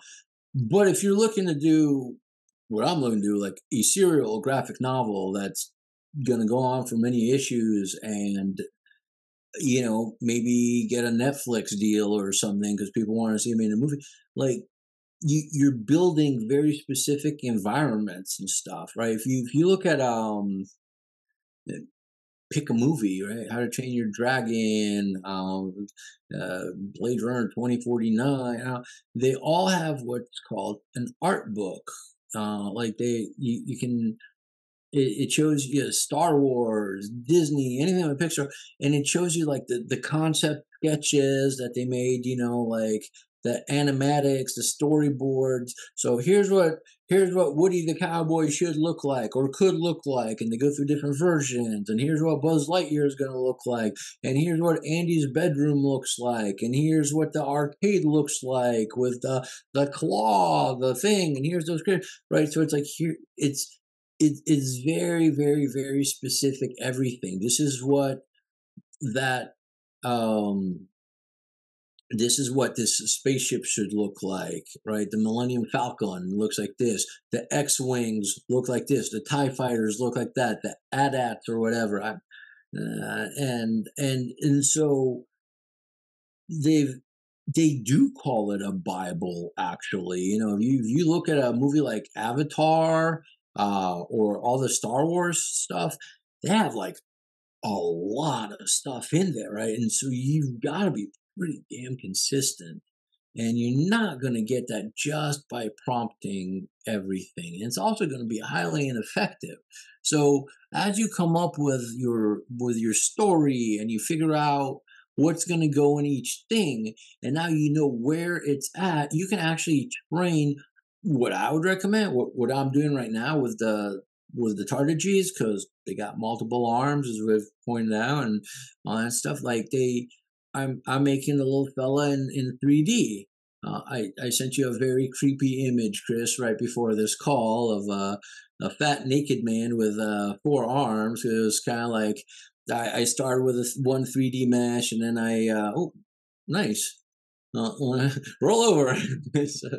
um, and uh, but but you know, so I'm, I'm starting in 3D, and I started with one mesh, and then mesh is what you call the the 3D object, and you don't have to have a 3D background and all that stuff. You can work with someone on on Fiverr if you don't any friends, or you can just make concept sketches, or um, there there's there actually is a control net uh, model that's called Sketch, or I think it's good. You can literally draw a stick figure and give it a prompt and it's going to try to it's going to look at it knowing that it's a crappy everyone was going oh no no i'm not an artist. I can't even draw a stick figure. Yeah you can draw a stick figure well enough for ControlNet stick figure i mean it's not a figure uh doodle or sketch to to figure out alongside with the prompt right? You just it's a compressed the stick figure is just you know uh it, it it's a compressed version of what you're trying to tell it. You're like, here, you know, like mm, it's Superman's like does his thing, and you know, you just draw a stick figure doing this, and and then you prompt Superman flying through over a building. It's going to match the angle and the thing and the perspective that, and it, you're like, what? This came out of that. And so there, there's so many tools that that you can use with this, and um, so having um, I recommend 3D and stuff like that for building your set. That way, you can have very specific angles right? You can actually be doing cinematography for for me it is important right? So like here's the front of the building here's the side of it. And you know you, you don't have to um if, if it's not an existing um you know building if if you're creating your own world right your own city your own building whatever prompt it in midjourney but describe what you want this building to look like and then have a picture of the front of it have a picture of the side of it you know describe the different rooms or you know go nag some interior design photos from pinterest and, and use those as you know uh, control nets or image image and put them into that graphic style and now you can use those as backgrounds uh, you know, traditional cel animation, all your original Disney movies before, uh, not just Disney, you know, Akira, all that. Like your traditional animation is you you you got the background, and then you have a, a cell. You have a, a transparent sheet of uh, mylar, I think, and you the artist would paint on that and then they photograph it together. That's also how they did like the you know green screen originally, right? You got your background, the big boulder rolling, and then you film Indiana Jones, Harrison Ford running in front of it. You key out the thing, and then they would film. Back in the day, they would have to rotoscope it. You used to have to cut out the background. So now you, you can do that in Photoshop very easily now. Uh, Photoshop, by the way, has its own generative AI and all that stuff. But if you want consistency, and you're doing like a full on thing, I would recommend, you know, yeah, go ahead and have someone build it or you build it. And it doesn't, cool thing, is, it doesn't have to be fancy. You don't need, you don't need like Hollywood level. Here's, here's all the textures and details and the, the doors and stuff. You could use like, there's a free app, Blender, blender.org not only is the app free, it's super powerful. People are making movies, commercials, music videos with it left and right. It's got a 2D animation thing. It's got video compositing. It's it's it's free and tons and tons and tons and tons of uh, tutorials. Like it's got a huge community because it is open source. Um, so that's Blender, uh, SketchUp, uh, that's when it got bought up by Google. That's a free architectural thing. So, you know, you don't. I, is I showed you guys that, that at uh at that first uh, AI bot summit, right? I just took a couple of cubes that I made in in Blender, like literally two cubes, and I said uh, a, a house by Franklin Lloyd Wright uh, in in you know in front of a pool, and it, it took those cubes and it turned them into something spectacular. And you can do that. But so just you can just have the basic the basic shapes.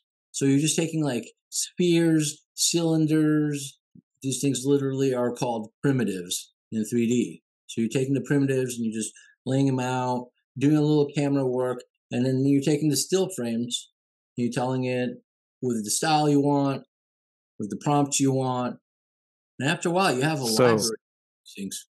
So, so you basically build the scene uh, in 3D with Blender, get your camera angles, and then get get the still shots, load them into Stable Diffusion with uh, Control Net. Uh, oh, and, uh, you can also photo bash, right? You can add things to the scene. Photo bash. Um, I got it. Everything. And yeah, and then once you have the scene, you render it with a prompt, basically. Cool. So you can you you can batch process in stable diffusion. I, I think at this point we're probably getting a little advanced for some of the, the people, but but you, you can take animation now, right? So I can take uh let's just let's just stick with what I was saying before, like a a cube or here. Here's a Bluetooth speaker, right? I can literally do like top motion photography, right? Like I just take a picture. I can put my my my phone on a five dollar tripod stand, whatever you call it, from Amazon. Take a picture, put this thing in front of it on the table, and go. And then I can put this uh, alcohol. Uh, not drinking alcohol. It's isopropyl alcohol, of the circuitry of my computer. But you know, if you want to drink it, I do not recommend it. It's uh, but I can put this behind it, and now I can take a picture, and I can move this, and I can move this, and move this, and move this, boom, and now I can run that thing, uh, that sequence of you know five six images, and I can say, uh, that that is a uh, you know Tesla Cybertruck. If I trained it on that, I don't know that it's got enough images in the you know, uh, but there's plenty of images of it on the net. So I take, you know, between seven and 20 of them and I train it. And now I got my Tesla Cybertruck in front of uh, SpaceX rockets. And I guess I got Tesla and SpaceX on the brain for some reason. Mm, it's nothing to do with uh, going to Orlando to watch my art go to the moon in a couple weeks, but uh, you know, and do the thing. I can I can even like literally like have this thing, you know, moving up and just Photoshop my hands out, and then so now you've got a consistent image, and because you you can do batch processing, it's got a batching, so you put the same prompt, like you got the one prompt, but you're saying grab do that to every image in this directory. Or you can take an actual video of, uh, you know, um, apparently the standard test for this, you know, in programming, it's making it say hello world in, um, in stable diffusion uh, animation. It's taking uh, girls dancing on TikTok and you know turning them into anime girls or something. It's, there's a lot of that going on there. But people have made spectacular music videos by doing that. So you there's a lot of free tools now that will take your video, whatever it be, export it into a still frame sequence, and now Stable Diffusion can just you know with control net, whatever just image to image without ControlNet. Just you can prompt the heck out of it, or give it a single prompt, give it the seed, and boom, and now you've got like pretty consistent uh, stuff. I'm, I'm trying to think of a a couple of more resources for all y'all. I mean, most most things you'll be able to just yeah, images.google.com, right, which will take all the stuff from all the stock photo libraries, iStock photo, and all these things. And you can take the stock photos, even if they got their little watermarks on them and they're not like high res and all that stuff, and you can still use it as a reference image, whether image to image, whether ControlNet. Doesn't matter because it's just using it as a reference. It's looking at it, go, hmm, okay, there's the building, there's the person, they look happy, there's da da da da. Like AI just kind of looks at stuff and tries to understand it. It tries to get the essence of what it's seeing. It's also trying to get the essence of what you're communicating. You, you get a better chance of getting it right, exactly what you want, by having reference photos or photo bash or whatever. Um, and so most of the things, yeah, images.google, uh, Pinterest, these resources alone are just invaluable. If you want to go get fancy schmancy, do stuff in 3D, hey, you know what? 3D is tough to make everything. Modeling, as it's known, is uh, it's kind of a it's a pain in the ass. Like it takes a while to learn. And Yeah, it's probably faster to just pay someone on Fiverr do but you don't need to do that.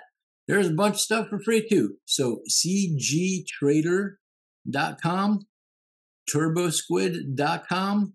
These are uh, two 3D model libraries. So if you wanted, uh, if you're making a music video, commercial, a film, and you wanted a spaceship, you wanted a, you know, I don't know, uh, I'm, I'm not great with. Oh wait, uh, Chris, you're you're great with uh, with planes. You want a very specific planes. Go go to what was that the the Corsair the F Yeah, the F4U. yeah uh, go go look that up on uh, on turbosquid.com and you'll get versions all the way from like I don't know free and four dollars and that kind of stuff for like low polygon stuff that you can good enough for you know working in most of this stuff all the way to like a couple hundred dollars for something that's like hollywood quality. Like if you you want to again like have it in a feature film and actually animate it and do all this stuff you can do that but so 3d is evolving in a massive way because of ai now those two are being integrated. You don't you no longer have to get like all your lighting and materials and camera work perfect.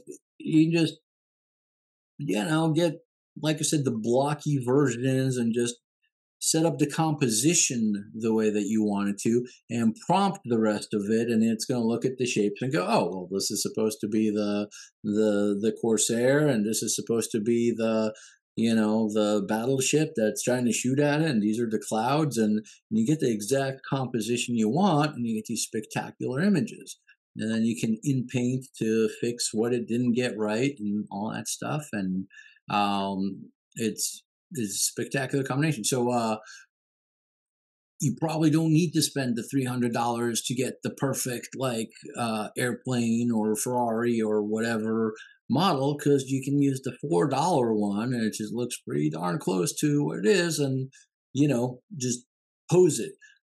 Rotating things and placing them, that's easy. You can do that. Saving a keyframe, that means like at at frame one, I wanted to be here. At frame five, I wanted to be here. And then you move the thing, and it automatically is going to move. Is going to move from between frame one. Tween it. Yeah, you know twins. Yeah.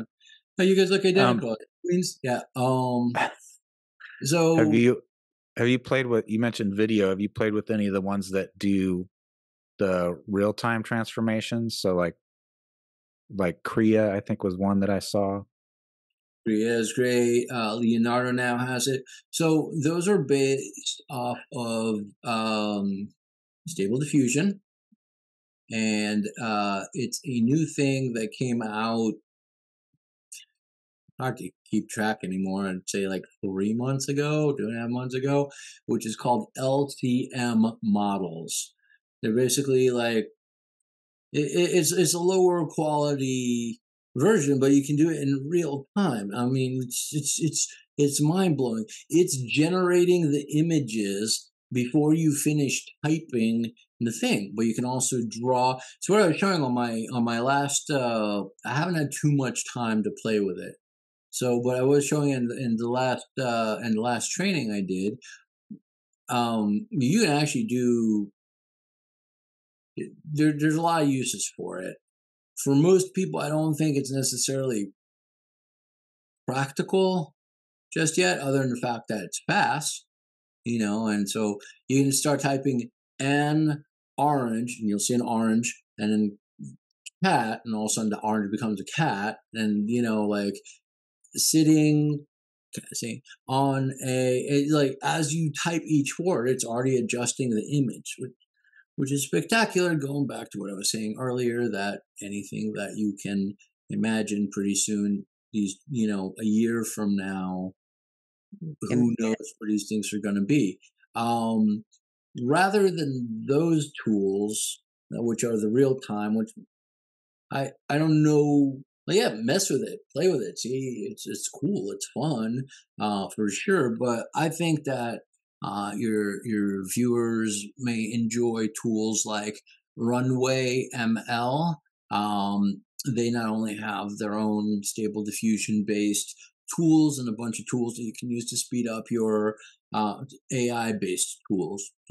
That's prompt to video. Uh, Text to video. Runway ML is definitely known for their uh, image to video, prompt to video, and video to video. So you're giving an input you just prompt something and say, you know, show me a, you know, pony on roller skates on ice. You're going to do that. But if you, the other thing you can do, and you, and you can do a bunch of stuff, but you, can take an Im- image that you made in Midjourney, and you can just put it in there without even giving it a prompt, and it will generate like a four second uh, clip of that thing moving. And now they've got a thing where you can just brush off, not like leave me alone, but like brush, like mask, uh, the Oh, area, motion brush. the motion. And so, you know, you've got this view of, and you just want the clouds moving, not the trees, and not the person, or you want just the person turning or whatever. And you can use images along with the prompt. And like I said, you know, you're you're now taking the images wherever they came from. You can take a drawing you did with your traditional media and put it on it. Now, they're not always that consistent, right? Um, but Stable Diffusion has Animate Diff and Travel Diffusion and all these things that are. That I'm not deep diving into them because you know there's like I, I don't want to. People are like, well, where do I even start? There's so much stuff. But if, if you're looking to make like an animation or music, I I'm I'm I got a client I need to make two or three music videos for right now. I haven't done it, but I, I know exactly how I'm going to do it, and I'm not intimidated by the project at all. I them I'll have them by March. Like that's you know pretty uh ballsy. I'm like, yeah, no no problem. Like it, and that includes you know like packing everything up and moving between now and then as well. So because I've I don't have to have an army of computers, right? And do it all in the cloud. So I can have a bunch of things happening at once. Uh, for all the, all the processing, all the, you know, like I can work on a bunch of frames at once. I can do, uh, uh, uh, there's, I'll give you guys a couple more tools um, on, on 3D, but uh, these tools are designed to be simple. So, right, I was talking about Pinterest. I was talking about um, Google Images, which you know ties in all the uh, all the, the stock photo libraries and all that stuff. And that's that's great. But what if you want very specific poses, very specific looking people? Well, you've got Daz D A Z 3D.com. This is a free software that it's spectacular. There used to be actually still around uh, a, software called Poser, and um, uh, pay attention this because this goes with the graphic novel thing. Um, so Daz has so I have one around here. I actually have around here somewhere, but well, packing, so who knows where anything is. Um, but I have a um a, a wooden poser. It doesn't mean like someone who can't skateboard. It means like those little wooden dolls that are on a stand, and you you know put the pose, and it's it's an artist's reference tool. So you you know you you set the character doing their captain uh you know their Superman pose, and you're like oh okay, and you, you draw it right. So Poser was a software that made a digital version. The very first version only had like a little wooden guy. It's cute. And then they started adding more and more people, and they got more and more real. And then they made all these models that you can now download and purchase and all that stuff. So Daz is a brilliant company that improved upon that software and gave it out for free. You just download it and start using it. And there's a bunch of tutorials on YouTube on how to use it and all all that stuff. And so that means that it is a 3D software. Um, you know, you're not going to be doing your own modeling within it, but it's got primitives. So you can place your spheres and your cameras and your lights and all that stuff. And you've got actual people. You can click on the arm and the hand and there's little sliders so i want the hand to open more no no i want the thumb to move in or you just click on it and drag it like you know like you do and click on the head and then just rotate it and you know ah i want the mouth open and um and then they have an entire marketplace so the very first experiments i was doing for a graphic novel i just went on daz um the models uh, didn't really matter. I was able to use just the free ones that come with it. Um, although they I've purchased over the years, Michael and Victoria. Those are like some of their popular humans. Um, but people have made all these crazy. You can get outfits. You know, you know, I want her to look like a mermaid. I want her to have like a trashy biker outfit. I want him to have like a space, you know, space marine uh uh, asteroid suit with uh, our astronaut suit with machine gun, and I want a spaceship, and you can all these things. So I wanted consistency for graphic novel is what I was experimenting with. So I, I wrote a, a, a, short story, and then I uh, I ran it through ChatGPT, his earlier version, version three, I think, and I said, hey, help me figure out like what to put in each panels and it did and i was like wow that's pretty amazing didn't think that was going to actually work but it did cool and uh, you know what to say. If at first you do succeed, try not to look so freaking surprised. But so it it worked, and then um, it was by an artist, and uh, you know who's got a cabin in the woods and he's as he paint these things come to life and have very deep philosophical uh, discussions with it. Like why did you bring me to life? Why did you put me here? All this pain all this suffering. I didn't ask for this. And they run off the lion runs off and then he you know paints a naked woman and she comes off. And i don't want to ruin the ending for you guys. It is a happy ending but not that one chris. And, uh, and uh, but but um you know because it's that one artist, which looks kind of like uh, me coincidentally. I don't know where how that happened. You know, these AIs are flaky, and uh, but I, I I wanted the easel and the painting, and you know, I wanted to look to be consistent and i wanted particular paintings on the walls behind them and you know i want to be able to move the camera so here's the doors and here's the window and you know but it's going to have inside and outside the cabin so on Daz 3D, oh, and Daz 3D can import models from Turbo Squid and uh, CG Trader and all this stuff. And so I was able to find very quickly like a cabin and I was able to spend like I think it was fifteen or thirty dollars on Daz and actually get the artist studio set. You know, it had a bunch of crap I didn't need that I like deleted, but I wanted the easel and the you know a couple of things, and I'm like perfect. It had canvases, and I just and, you know, set it up, and then I, I set up. You can set up multiple cameras, so you're not limited to just one camera and trying to put it where you want. Like set up multiple cameras and just go between them. And anytime you need to, you know, put the different. So I put the person in the thing. I gave it a crap render that took like no time flat, and I threw that into stable diffusion with the particular style I wanted, and the consistency was fantastic. Uh, if you look at it as a graphic novel, they're they're not that consistent. I mean, they are like there's that the unique style. You got the particular style of inking and cross hatching and coloring, and you can tell that the the the character is this and that because the character, you know, they have their their height, their build, you know, like the the things that make them them, their their outfits, their accessories, but you'll look at each one and it's not like a photo that's like consistent. It's it's drawn. It's drawn very differently every single time.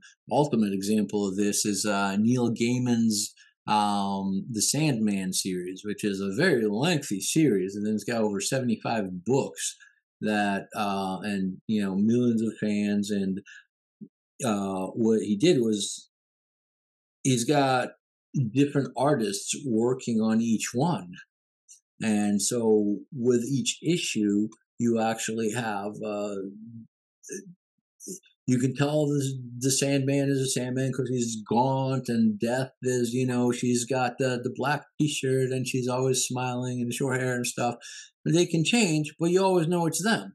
I, you know, I, I can change shirt, change my hairstyle, I can get different glasses or no glasses. You still know it's me, right? But with with uh with illustration, it what people care about is a story you know, you cool. You've got the tools to make an epic graphic novel and you can make it as consistent as you want. You've got these tools that are absolutely free. Stable diffusion, free. Open source, better than free. You can go modify it and sell it, right? Daz 3D, free. Um, there's a whole bunch of a blender, free. Um, and then you can buy certain things if I wanted an exact Ferrari and I wanted to play like I'm talking about like particular year, color, uh, you know, look, I can play I can go and buy one for a couple of bucks. Right? It's way faster than trying to make it myself, which is fun and a good challenge. I'm, I'm talking about in 3D. There's I'm not trying to actually make a Ferrari, obviously, but but in 3D, yeah, eh, there's a bunch of tutorials that you can buy, and it's going to take you a lot of time practice. I'd much rather spend like the the five dollars want, like you know, and and have it and just prompt it and boom, or fifty bucks or something that's yeah, twenty five bucks. A lot of times you'll find something that's like pretty spectacular quality and not just not just the the outer shell but rather that the doors will open and you know do all this stuff. So for no money flat now, you can actually not just make graphic novels, you can actually make entire like films, music videos, all this stuff. Yeah, it takes a little effort, but um Peter Gabriel, world famous uh you know, singer musician, um, known for his uh you know, Sledgehammer. Uh, one of my favorites.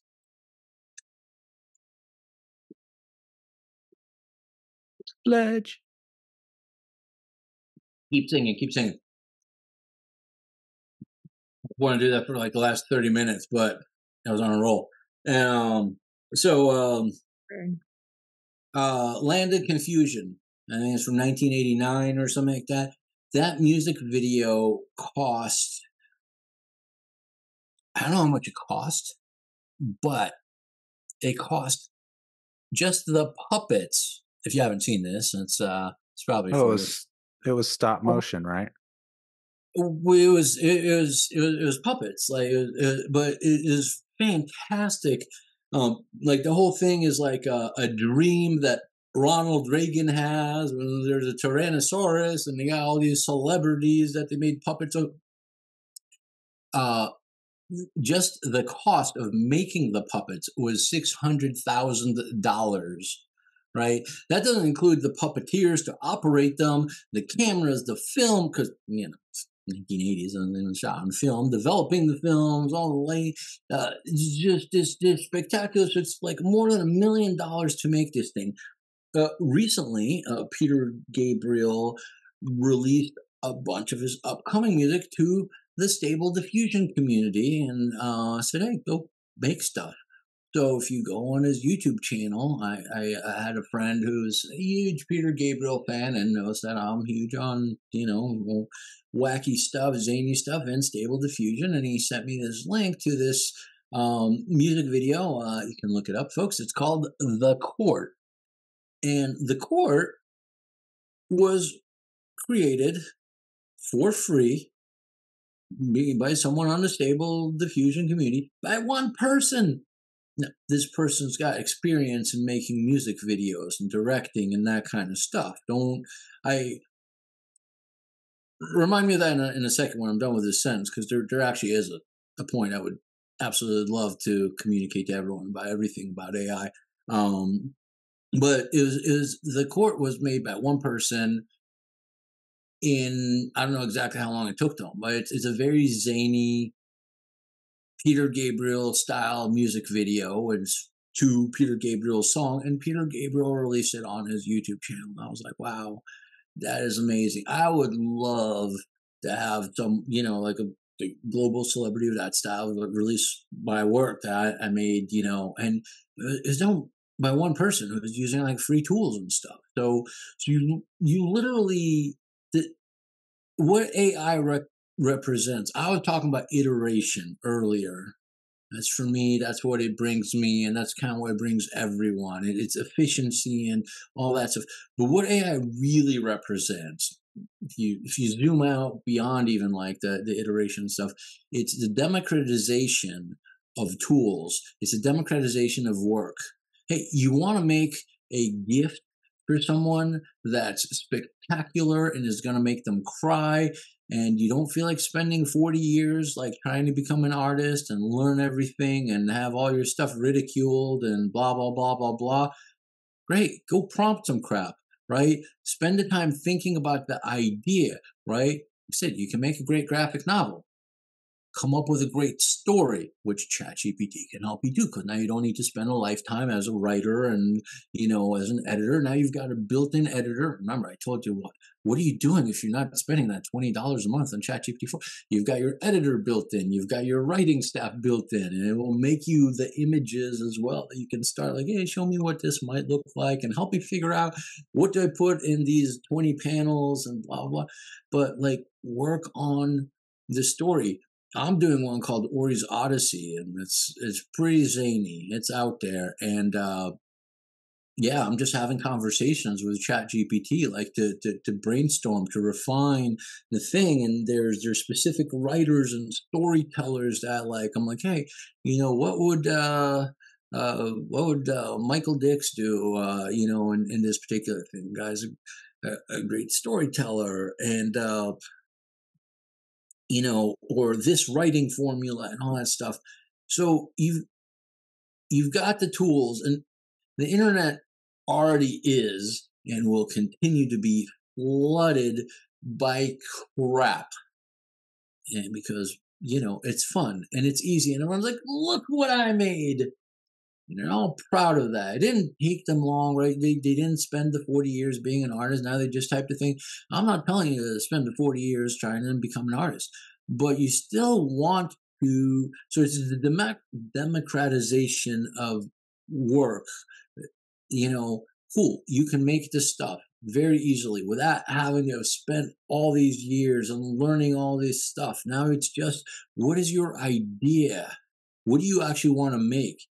But make something that's that's meaningful make something of a quality. And the point that i was telling you like hey bring me back to that was here's the mistake that a lot of people are making and will continue to make. And if you want to make money have a career um, you know not lose your existing gig and all that stuff like pay attention right? Like study the fundamentals I'm not telling you to, right? Because most people, uh, uh, like most people are, they they don't even think about, they don't realize or or have the notion like, oh, yeah, like this is what it gave me, but I can make it better. Like they're stuck with the output that it gave them, and it might be great output, but they don't understand what makes it great. Or worse, they might think it's great because they don't understand what makes it great. And now they post it and everything backfires and they don't know what's wrong. So, perfect example, best example, one of my favorites, uh, is a judge uh, gave a nice good smack to uh, an attorney that used ChatGPT to make his case and uh, did not even bother to check because this, you know, with ChatGPT and all these other generative AIs, they hallucinate. Not like I do on mushrooms and stuff, but rather like they just make stuff up and say it very confidently. So uh, this attorney had cases that did not exist in his stuff that he was presenting to the judge. So that, you know, he got a penalty on that. And so if you're doing copywriting, yeah, ChatGPT could be a fantastic copywriter, you know, like, hey, make me a sales letter for this in the style of Dan Kennedy and Perry Belcher and, you know, blah, blah, blah. Great, no problem. But if you don't understand what converts and what makes a good sales letter and that kind of stuff, and you just like you just blindly take what it gives you and you post it on your sales page and you been like, all right, I got this fantastic sales letter. I could never have written anything like that. And it only took me five minutes. I'm so proud. I'm going to go make millions. And you put like a couple thousand dollars of ad spend, and all of a sudden you're, you know, like you got no conversion. Now your brand is being mocked and ridiculed. And you're like, what happened? Because you didn't, you didn't actually read it. You didn't understand. So I see a lot of people that make images like their art. Look, I made art and it's so good but they don't know what makes good art. So just like with the copywriting or the legal, you know, people like. So when people ask me, "Oh, Ori, aren't you scared now? Anyone can just type what they want, and they don't need artists anymore." Yeah, go for it. You know, let me let me know how it works out. I, I encourage. I, look, you don't have to I, I recommend you you go and you you play with Midjourney, you go and you play with DALL-E, and you go and you play with Stable Diffusion on whatever platform you want because it's fun. It's therapeutic. We all grew up like we were all kids. We all got in trouble for you know like we were all artists. Stuff wasn't good, but we would take the crayons and draw on the wall and the furniture and our parents' clothing, and they'd be like, "Oh my god, what'd you do? You just ruined that couch." eh, art, you know, and just, we made macaroni art and all that stuff. And then someone looked at it and goes, Your hands look stupid. and you stop being an artist, which kind of is what happened to me, by the way. I, I back, I was an artist, I didn't realize it. And then in 2001, my, you know, someone told me, Oh, go do an art show. And then I, you know, went tried to find an art show. This before Google. So, you know, asked around and I got one of these um, First Friday things, and the weather sucked, and I went through all this trouble, borrowed my buddy's trade show booth for SIGGRAPH. I was I show up with this thing and these giant paintings, and I'm like, oh crap! I think I overdressed for this party because it was me with that monstrosity, and then like these poor old ladies with little card tables and like beads for five bucks. I'm like, ah shit. And the weather sucked, so hardly anyone showed up. I don't know, maybe five, six people the whole night. I didn't sell anything. No, I didn't sell anything. I guess I'm not an artist stopped making art for 10 years. And you already heard that story, but so that's how that story started, right? So, but I have an understanding. So if, if we're talking imagery here, right, it depends on what what you're using the imagery for.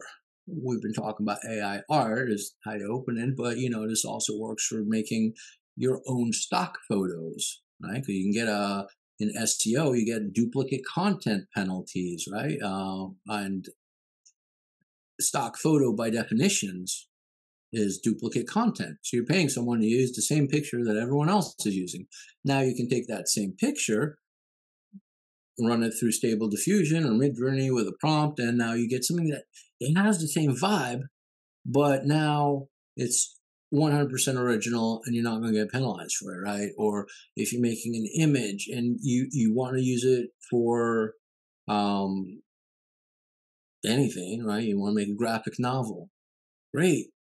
But go on Udemy or any of those uh, Coursera, no, Coursera, the teacher platform. Go on Udemy or uh, any of those other ones that there's like tons of uh, learning platforms, including YouTube, obviously, but uh, YouTube is more episodic, whereas like Udemy has like, oh, here's a course on this, here's a course on that, and and if you want to do graphic novels, great. Like and go or you have a course too. Right? I do have a course. You want to, as we wrap up here, do you want to tell people about your course?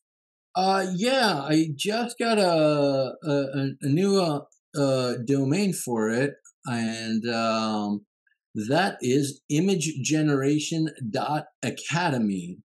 And uh, there's a couple of uh, academy. Perfect. Yeah, and uh, there, there's what what I offer to. There's YouTube, and you'll learn a ton of stuff.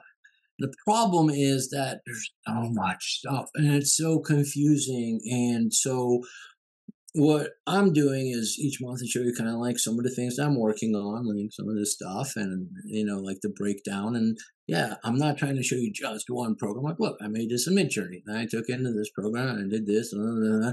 but there's different levels. Like, not only do I like teach what's new in the industry and in these tools, and I'm good at simplifying things. Uh, is what I'm known for. I had a WordPress course back in the day. I had. Uh, yeah, uh, I had a testimonial from a nine-year-old girl that only had one hand and was making WordPress course. So if a nine-year-old kid with one hand can do it, what's your excuse, right?